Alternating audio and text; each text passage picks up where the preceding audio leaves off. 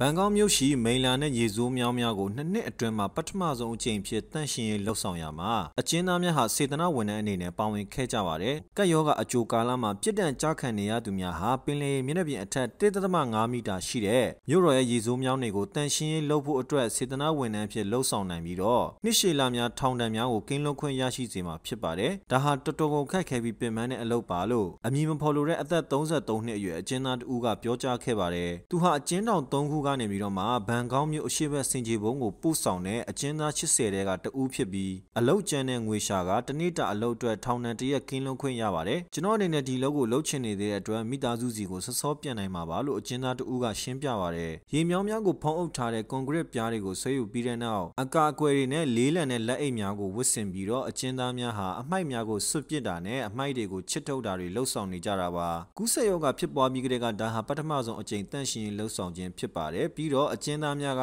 ရေမြောင်းကိုရှင်းလင်းခဲ့ကြောင်းဘန်ကောက်ရှိအကျဉ်းထောင်ဆောင်တဦးကသတင်းစာရှင်းလင်းပွဲမှာပြောကြားခဲ့ပါတယ်။မြို့တော်ဟာအကြမ်းပြင်းအဖြစ်ဇူလိုင်လမှအောက်တိုဘာလအတွင်းမိုးရသည့်အတွင်းယူလန်းမှုကိုခံနိုင်ရရှိပြီးအရန်ရေမြောင်းတွေကနေတဆင့်ရေစီးဆင်းမှုကောင်းမှုစီရင်အတွက်ပတ်မိုးပေးထားပါတယ်။မိုးရသည့်စတင်ချိန်မှာတော့တန့်ရှင်းရေးတိုးမြင့်တာကမြောင်းတွေကနေရေကိုအမြန်ဆုံးဖယ်ရှားဖို့ကူညီပေးနိုင်မှာပါလို့ဘန်ကောက်မြို့တော်အုပ်ချုပ်ရေးအရာရှိတဦးကပြောကြားခဲ့ပါတယ်။ကျွန်တော်အောင်မျိုးမြတ်ပါဒီသတင်းကိုဘန်ကောက်ပို့စ်မှမြင်းကိုကတင်ဆက်ပေးထားပါတယ်။